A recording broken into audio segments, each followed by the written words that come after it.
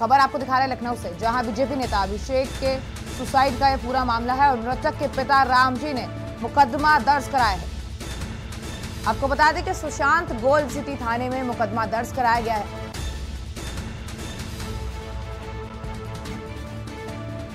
लखनऊ से आपको खबर दिखा रहे बेटे की संपत्ति हड़पने के साजिश का आरोप भी लगाया। आपको बता दें, परिवार से अलग रहने को लेकर पत्नी से पूरा विवाद था और पुलिस ने सुसाइड नोट जाँच के लिए भेज दिया है।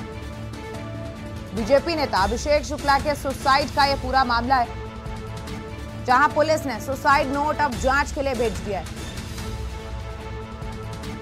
और मृतक के पिता राम जी ने यह पूरा मुकदमा दर्ज करवा लिया है। खबर लखीमपुर खीरी से, जहाँ बनबसा बैराग